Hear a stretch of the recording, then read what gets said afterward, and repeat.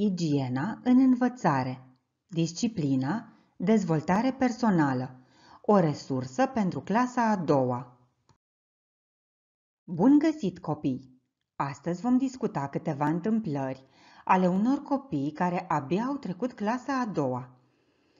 Iată și personajele, Mirela și Iulia, Albert și Paul și învățătoarea lor. Vom afla împreună cu ei ce reguli de igienă trebuie să respectăm pentru a învăța ușor și temeinic.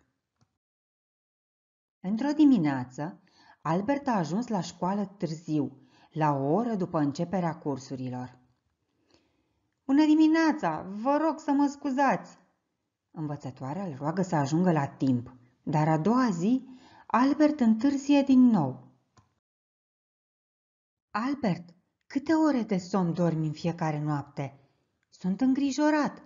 Pare că ți-ai făcut un obicei să întârzi, îi spune prietenul său Paul. Paul, nu e mare lucru. Adorm la ora 23 și încerc să mă trezesc la ora 7, spune Albert.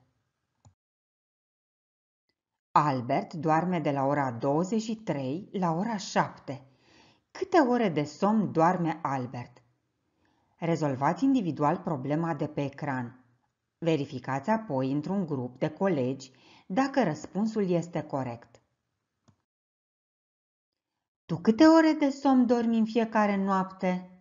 8 ore, 9 ore, 10 ore sau 11 ore?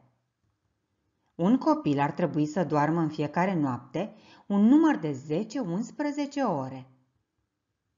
Ce poți face pentru a-ți îmbunătăți programul? Mirela și Iulia sunt colege de bancă.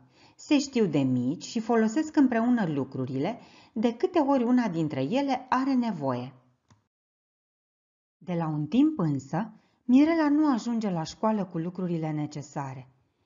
Iulia, poți să-mi împrumuți radiera? Dar un stilou. Și scuze, n-am niciun creion negru ascuțit. Mirela, ce se întâmplă? Ieri nu ai avut creioanele colorate? Nici ascuțitoarea? Nu e nimic important. Nu apuc să-mi fac ghiozdanul de seara. Mirela, seara nu te grăbește nimeni. Cu orarul în față, îți pui în ghiozdan tot ce trebuie. Tu când îți pregătești ghiozdanul? Seara sau dimineața? De ce? E nevoie să pregătim ghiozdanul de seara cu cărți, caiete, instrumente de scris. Apa și pachetul cu alimente se adaugă dimineața. Tu știi cât ar trebui să cântărească ghiozdanul tău?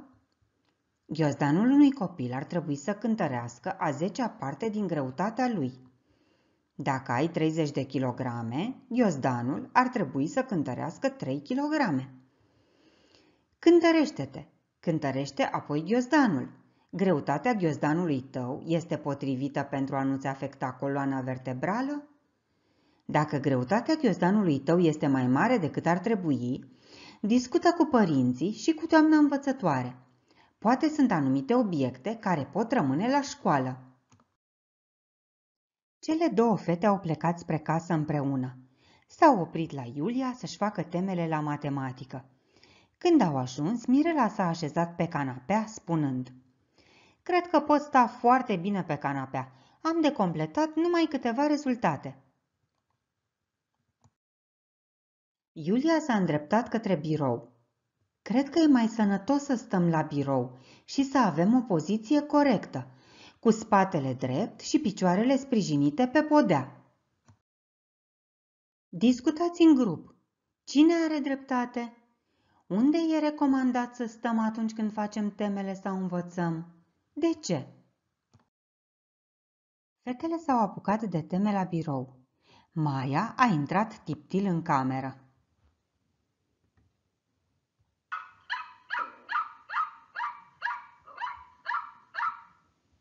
Mirela s-a bucurat tare să o vadă. Maia, bine ai venit! În timp ce Iulia a spus – Maia, nu ne întrerupe de la teme. Ne jucăm cu tine când terminăm, promit. De ce nu a vrut Iulia să se întrerupă de la lucru pentru a se juca cu cățelul? Tu cum procedezi când îți faci temele? Completați în grup lista de reguli pentru păstrarea igienei învățării, pornind de la întâmplările povestite de copii. De exemplu, respectă 10-11 ore de somn în fiecare noapte. Poartă ghiozdanul pe ambii umeri. Completați și voi. Nu uitați, păstrarea igienei în mediul de lucru te ajută să înveți.